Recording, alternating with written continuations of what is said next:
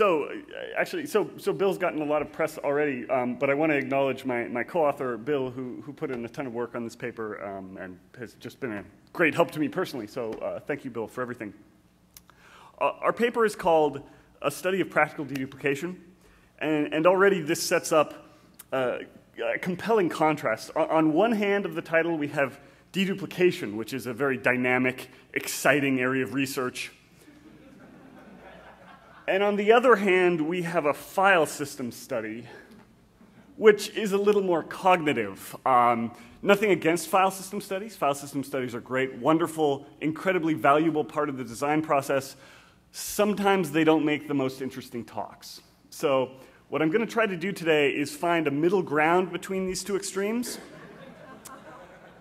and present what I hope is at least moderately interesting talk about uh, deduplication research in the form of a file system study. So, so why are we here? What's this paper all about? So like I said, deduplication is, is this really hot area. Uh, I, I'm just, I'm not totally sure it's such a good idea. F fundamentally, there's a trade-off you're making here. You're, you're, you're fragmenting data. You're giving up the linearity of your access to data and in exchange, you're getting more storage space.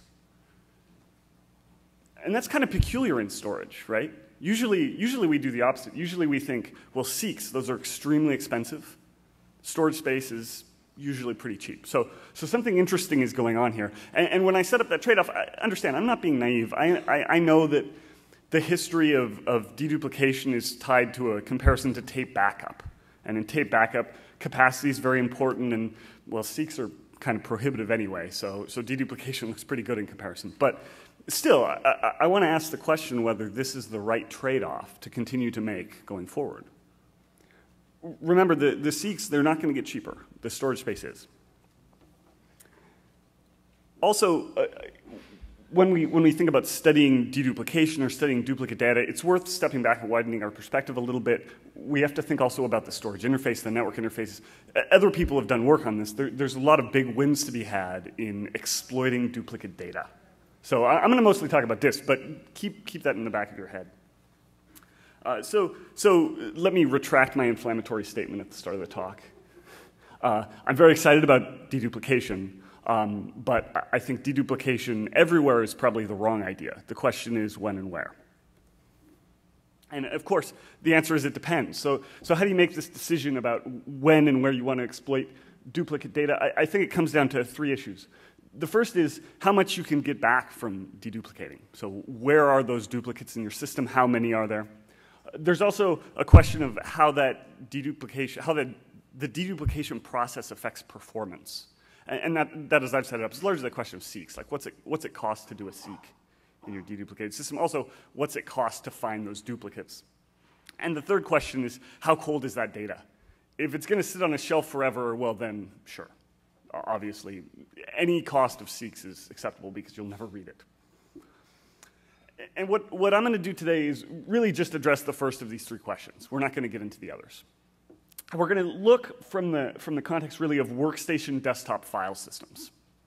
And, and I'm going to show how you can, you can collapse the, the consumed space within 20% of very aggressive fine-grained duplication without incurring any extra seeks. And then I'm going to go further to show how you can get that number down into the single digits. So, so this is my outline for today. In doing, this is, as I said, this is a large file system study, and so we have, a, we have a tremendous amount of data at our disposal, and there's a lot of different stories I could tell with that data. I'm going to restrict myself just to one story, and that's going to be the deduplication story. But I also want to, to, to take a moment to convey the full breadth of the contribution. So after I go through methodology, I'm going to give a little teaser about some of the other things that are in this data set, just to give you some, some hints as to what else we can calculate.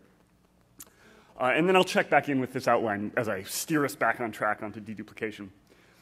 So to gather the necessary data, we needed a large pool of compute. That's Bill and I. Um, we needed a large set of computers, so we, we randomly selected around 10,000 employees on Microsoft campus. And, and I want to point out, there, there's of course a lot of programmers in this study, but Microsoft, they hire more than programmers. They also have lawyers. the, the, the, the, point I'm trying to make is that it, this is a large software company, right? So we have lawyers, we have administrative staff, we have managers and testers. Um, so I, I, emailed these 10,000 people to ask very nicely, uh, I've written some software, I'm looking for volunteers. If you install this on your computer, what it's going to do is it's going to scan every file system you have attached to that computer. It's going to look through all your files. And it's going to send back a huge log report to me about that data. And of course, I'll, I'll tell you that because it's um, because we're interested in deduplication, we're very interested in the content of those file systems. But of course, copying the actual data content back to our servers that probably would be unacceptable. People wouldn't like that so much. So what we have to do is we have to take hashes of the content and, and copy that back. And as you'll see, we're interested in deduplication, a, a, number of different approaches to deduplication. So we actually had to perform all of those approaches on the subject's machines, copy all those hashes back, and that's what we've done. So still, this is an invasive scan. Um, it, it led to some amusing emails where people were concerned that Bill had a rogue intern who was installing rootkits all over Microsoft. Not true. But we, we, we helped incentivize by, by letting it be known that one lucky participant would get a prize at the end of the study. So, so that's, it works, it works, it does. So ultimately, we got about a 10% uptake rate. So 10% of the people volunteered to do this scan. And on the data collection side, we, we import all this data into SQL Server. That lets us do um, analysis via SQL query, which is very convenient. And, and we're collecting, uh, we, we let this run for four weeks. We're collecting hundreds of millions of files per week, about 40 terabytes a week for 162 terabytes total. And over the course of the scan, we have about 900 file systems consistently. So as I've said, there's more here than deduplication. Um, Microsoft has previously published studies very similar to this, both large-scale studies of deduplication in 2000 and 2004. So, so part of what we're doing here is we're contributing to a longitudinal understanding of how file systems are evolving over time. And this is really important. Um, we have lots of results in the paper about how file system complexity is growing. There's more files, bigger files, things like that. Uh, I'm just going to give a couple quick teasers to give a, you and I a feel for what's in the full paper. For example, simple straw man question are my files bigger now than they used to be? And of course, they're not. Uh, well, okay, so they're not bigger by frequency. Most of the files are the same size. So this is the histogram, this is distribution of file sizes, pretty much unchanged from previous years. The median file size is 4K. It was 4K the other two years of the study. We've actually gone back through the literature. It turns out it's 4K in every study going back the last 30 years. So this is great news. We can finally compete with physicists we have our own fundamental constant of the universe. It's median file size. So an, another example of what you can do with this data set, um, there's, a, there's a doctrine that says, it, this is a very important doctrine that says when you're evaluating, when you're measuring a new storage system, you have to age that file system. Because over time, files become fragmented and performance changes really dramatically. So, so we, and as far as we're aware, no one has really looked at this in a large observational study, so we thought, well, how fragmented are the files? Um, and interestingly, they're really not. And it's not terribly hard to guess why. Windows machines nowadays defragment weekly, and this effectively solves the problem. So good news, right? Um, one thing that's interesting that came out of this, though, is that files that are fragmented tend to be highly fragmented, and the culprit seems to be programmers doing small appends at the end of things like log files. So watch out, programmers. Perhaps consider allocating in larger chunks. Okay, so those are, those are just two teasers to, to take us offline a little bit and uh, show you that we have tons of great metadata results that you all can use in your actual systems, even if you're not interested in duplicate data for some crazy reason.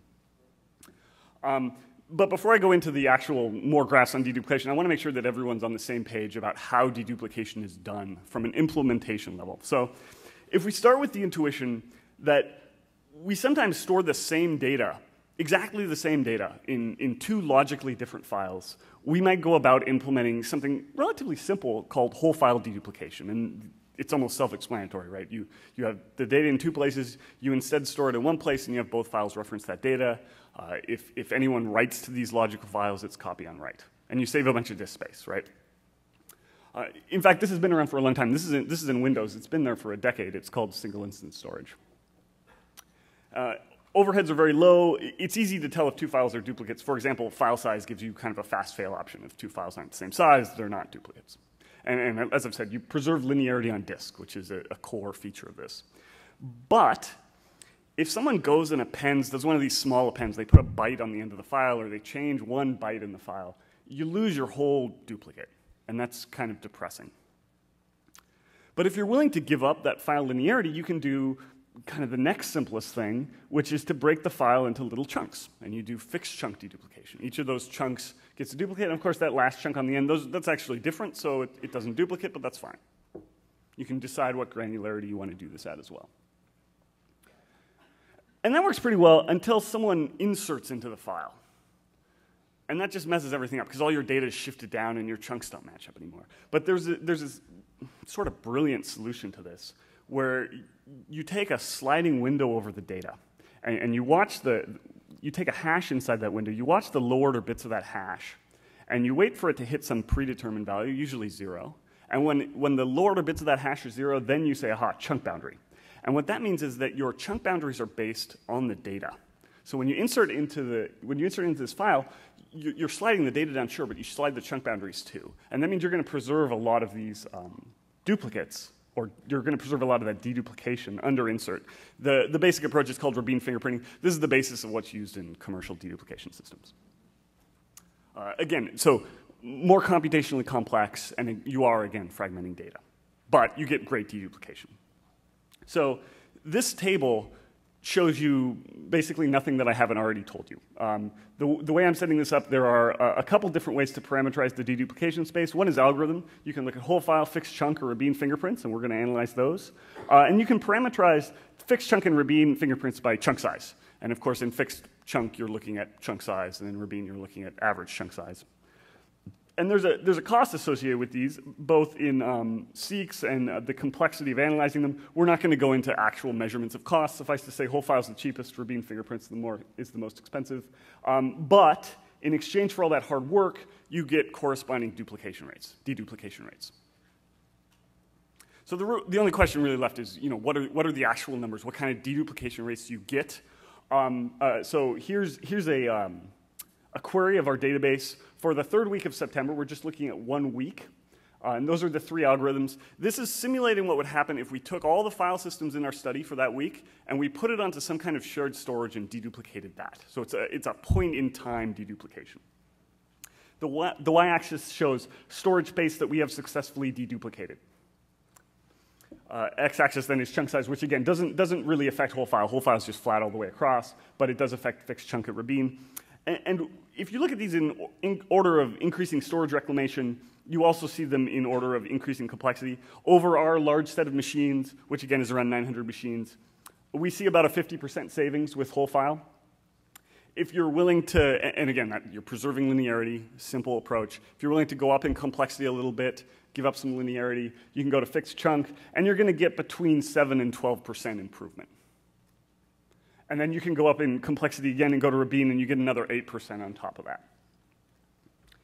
So in total, if you have a big pool of machines like this, you're willing to pay for the, the most costly algorithm we looked at, which is 8K chunk size Rabin, you can cut 70% of your storage, which is great.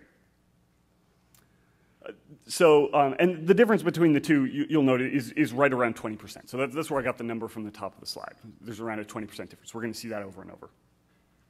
Now, you, you, might be surprised that this isn't actually better. There, there's, a, there's a number that's quoted commercially often, which is 20x deduplication. This is not 20x deduplication. The way that they're getting to 20x deduplication is um, by doing a weekly full backup. And weekly full backup means you're backing up all your data every week, even if it hasn't changed. So you're doing something considerably simpler than even rsync. Uh, and on top of that, often there's a compression factor, which usually is estimated at 2x. And we're not going to get into that. But we can, because we did a, a longitudinal study over four weeks, we can look at th this full backup case. And, and, what we find is that the, the difference is actually smaller. There's only a, a 16% difference between the most aggressive Rabin fingerprinting and whole file deduplication. And a full half of that difference actually comes from zeros. So you could use sparse files. A sparse file supports in, I think, every file system that's widely used these days. You could use sparse file support to capture those zeros quite cheaply, quite easily. Very simple. And you'd get, you know, in between, down to 8%. Uh, and not surprisingly here, we're deduping over four weeks, and we're cutting storage by around 75%, right? Because you tend to back up the same files over and over, and you're storing it once instead of four times, 75%. So we've talked about how, to parameterize deduplication. We, we've looked at it over time a little bit. One thing we haven't done is we've looked at the number of file systems. So, so we, we have around 900 file systems in our, in our data set, but we can, of course, subsample the database to generate different sizes. And I might call this group size or, or file system count. Here's the deduplication by file system count. Same data set as the first graph. Um, again, y-axis is space deduplicated. On the x-axis here, we, we are subsampling the database to, to gather the, the necessary size of file, the necessary group size of file systems. So, for example, uh, to, get, to get that number eight, we, we query the database, we randomly select eight file systems, we calculate the deduplication rate. Each of these data points is an average of 10 trials. Uh, note that the x-axis is logarithmic here, so we're collapsing some of that curve. And, and interestingly, each of these algorithms benefits really similarly uh, from increasing the file system count, about 30% over the course of machines that we had access to. From bottom to top, we have whole file again. I'm giving you the two extremes of chunk size for fixed chunk and Rabin on top of that. Um, file system count makes a big difference. Oh, so, so the message here really is that as your, as, your, as your group size gets bigger, that starts to dominate the other parameters we looked at. If you, if you have a choice between changing your algorithm or, or adding more machines to the pool, from a deduplication perspective, adding more machines to the pool is the big win. And again, you see that the, pretty much the whole way through, it's a 20% gap. So, so the, the, the surprising thing to me is that whole file really is able to keep up with these other more sophisticated algorithms. So, so we've kind of hit our, our, our 20% number that's been consistent in all the graphs, but I, I want to do better than 20%. And to do that, we have to, we have to, we have to dig down into the deduplication, and sorry, the metadata analysis a little more. So, so let's take a look at what's filling up all this space. This is, this is a graph of bytes by containing file size over, and I have the results for all three years that we've looked at. The, the y-axis is the percentage of total bytes in the data set. The x-axis eh, are bins of file size. So for example, if you want to know um, in 2009, that's the orange line, 4 meg files, you can kind of follow that up and see it's 8%. 4 meg files took up 8% of the total storage space. And the interesting thing here is that we've really gone bimodal, haven't we? So you can see a hint of it in 2004. You see a little peak just starting to come up, but now it's really clear. So we have, we have two distinct classes of files suddenly. We have, we have the, the smaller or the more normal size files, which are in the, the 10 megabyte range, give or take. Uh, and that's the, that's the bigger bump there. But we also have this emerging class of giant files. These are in the 8 gigabytes, 10 gigabyte range. And by the way, this is, this is interesting just in terms of general metadata analysis, right? It's not just deduplication. This is, this is something to keep our eye on. Um, so, but what are these files? What types are they? Well, what types take up disk space? So we're going to be sampling from both of those big pools. This is, again, I have, we have all three years, disk consumption by file type.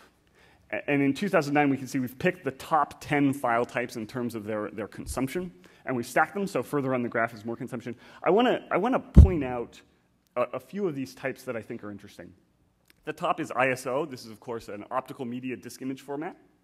Next down is VHD. That's Microsoft's virtual hard disk format. This is a disk image used for virtual machines. And these are both very complicated file types. Also, these are the huge files, the giant files we're talking about very complicated files, rich internal structures. They're, they're whole file systems, right?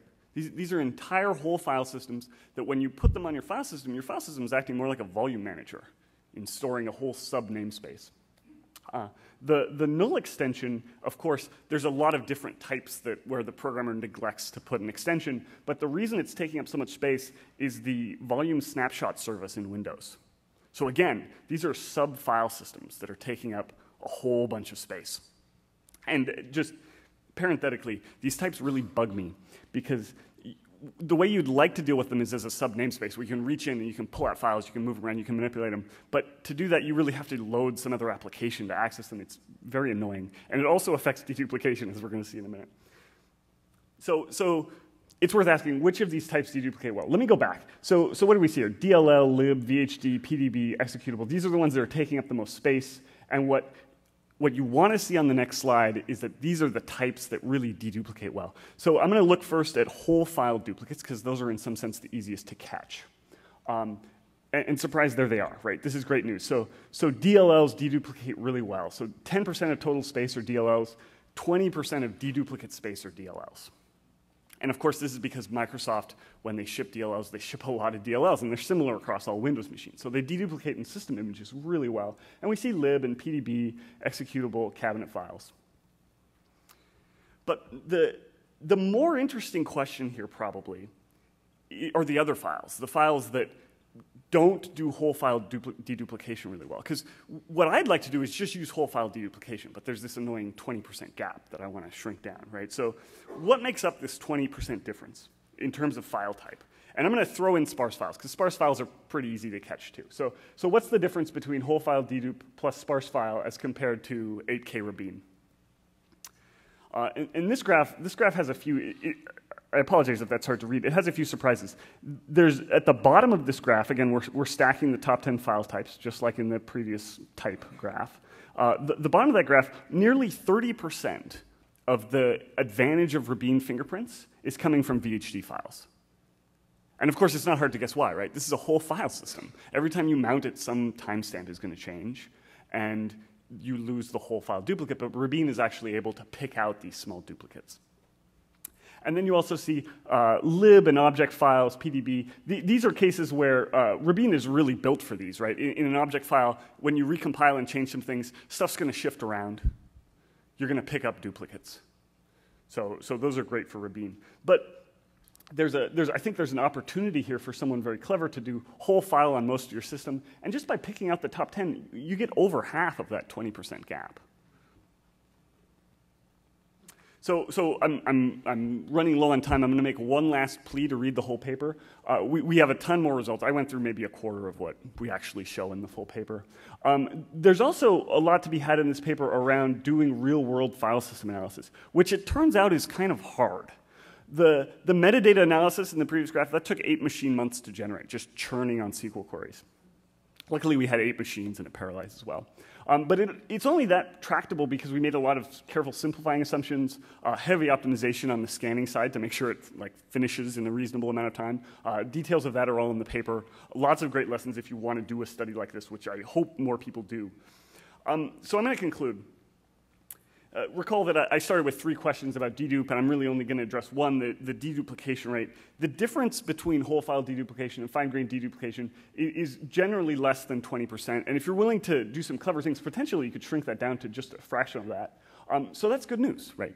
Also, good news fragmentation, very manageable problem as long as your file system can tolerate periods of relative inactivity.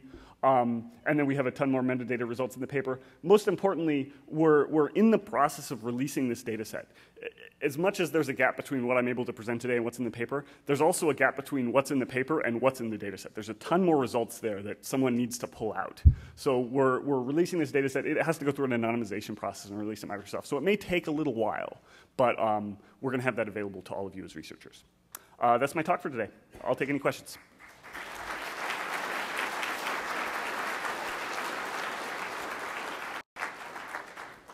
Hello, Mike. Is this on? No. I don't see a switch. I can repeat your question if, if I can hear it. I can't find a switch on this. You got it. Okay, you're on. Okay, thanks. Michael Condict, NetApp. Uh, I noticed that you measured uh, dedupe effectiveness in terms of the space removed and said yep. there's only a 20% improvement. Obviously, you're aware that if you measure the space remaining, that's a factor of two improvement, a, a 50% reduction in the amount of disk space you need, which seems a lot better. Uh, uh, yes, that's right. Yeah, so it, I mean, it does depend on how you right? If we wanted to make it as good as possible, we would do it in terms of a multiplicative factor. The, the, something, something that's important here is that you know we're right in the middle, right? So, so a 20% difference between like 95% and 75% is much bigger multiplicative factor than a difference between 50 and 70. But I just wanted to point out that the, the actual cost of your storage uh, is, it, it cares about how much space is left, not how much you removed. It's, it's proportional to the space left. All right, fair enough. I'm Assar uh, from Permabit. Um, first, I was wondering, you don't have any data points on 4K, do you? No, we don't. It's, I mean, the, the, the size of the log files that we were generating, even with 8K, was just enormous.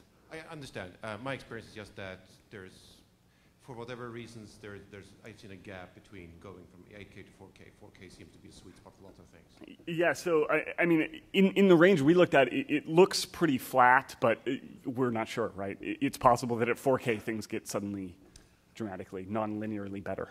And, and I, I, like very much the aspect that, that you show the previous data points, and I was kind of thinking what will happen when, you, when someone presents the next paper in this series. And if I were to guess, uh, you're saying that there are more bytes being stored in VHD files now than there used to be. If that's a trend that continues, I, I think that makes us being able to get these savings with whole file deduplication much harder.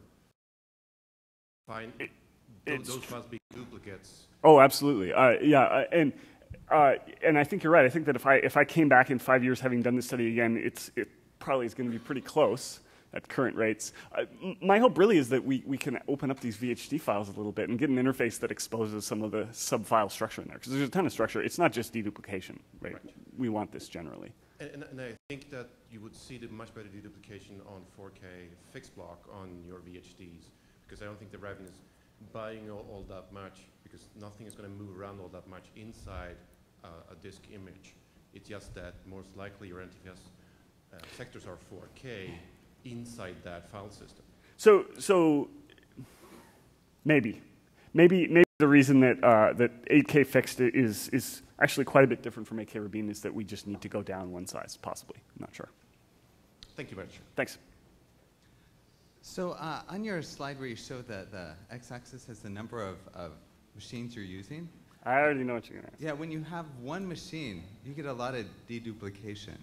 Yeah. So I, I was wondering, um, is that is that the same?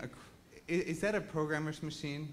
Well, I mean, if you look at the lawyer's well, machine, so does it do that? It, or it's it's it's average of ten trials. Um, I, I, yeah, in the ten trials. Sorry, wait. Bill, Bill's telling me I'm Bill's telling me I'm calculating wrong.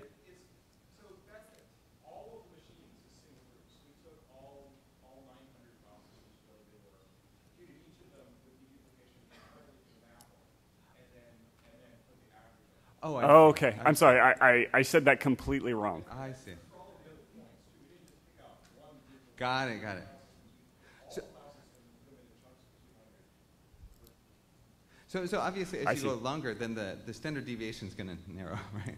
I mean, for the one, I, my, my basic question is, for the, the, the, the amount of deduplication you see on average, is, is that biased? Uh, is that, is that truly an average, or is that really reflective of of the majority um, kind of, of workload that you have? I mean, the programmers.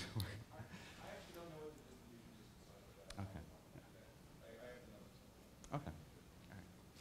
Okay. Okay. What? Okay. Oh, sorry. So, so uh, I, I, misspoke when I explained this earlier. The, the, the trials here isn't so for in the case of one machine. It's not just a practice of picking one random machine and running it ten times. It's a practice of grouping machines into a group of size one, which is all the machines, and, and taking the average there. And the question was, well, how does this distribution look? Is it very wide? Uh, we're not sure right now. We have the data, we just haven't, we haven't plotted that yet. Okay. Uh, Chris Lum. So one interesting challenge for what you're doing is that, at least from the non-backup use case, you're basically taking a backup tuned deduplication system and trying to apply that towards primary storage. So in somewhat relationship to the question of does 4K do better than say 8K? To some degree, but there's also somewhat of an intimate relationship between uh, deduplication compression and localized, say, gzip, lzip compression.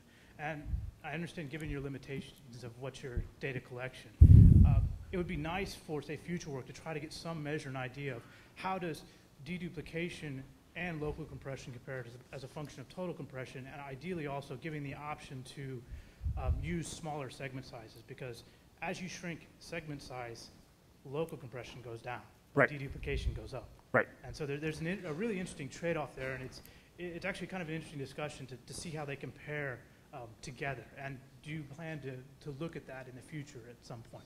Um, oh, let's say yes. I mean, I agree. It, I, I, completely agree. It, it, it, there, there is a really interesting relationship that for, for constraints we weren't able to grab. And hopefully someone, perhaps us, will do that. Thank you. I have a question. Yep. Uh, I'm curious about, we can talk more about the self-selected group that actually ran this program. Like, were, were there any lawyers in that set? Uh, right. So, so there's well, any, any study like this, there's self-selection, right? Um, one of the interesting things about this study is that it's it's not self-selecting in the sense that these are people who have already bought into bought for paid for deduplication. Um, but there are other forms in which being self-selecting. These are people who volunteered to let their file systems be studied. Uh, my guess is that relative to average, there are fewer lawyers who agree to this type of scan just because they know that they have data on their machines that just cannot possibly be released, even though we took every step to preserve privacy. Um, I was looking at the deduplication slide, uh, the first slide that you showed. Okay. Yeah.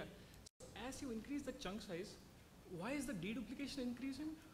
So as you decrease the chunk size, so I should, perhaps should have mentioned we have we have 64k chunks on the left-hand side, and as we go to the right, we go to 8k chunks, and we're actually getting more Uh, yeah, more that's what I captured. Yeah. Sorry. So in the graph that you were showing more machines, there's a bump at the fixed size at Yep. 256. Did you, Right there. sorry, yeah, at the five, sorry, 512, it Yeah. down? Yeah, uh, we're we're not exactly sure why that is. We're sure it's really uh, an effect that we're seeing in the data. So we we've ran that a few times to try and understand, but we're we're not exactly sure why that dips at that point.